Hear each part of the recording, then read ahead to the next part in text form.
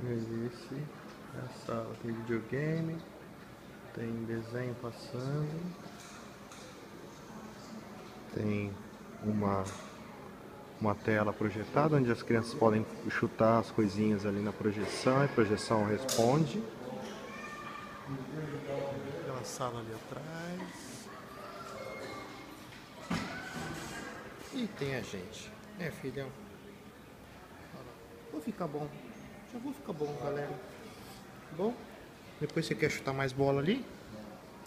Né? Ele adorou brincar ali. Agora ele tá vendo um pouquinho de TV.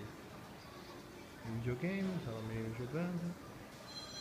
Isso aí. Essa é uma sala de emergência do hospital aqui do centro de Orlando.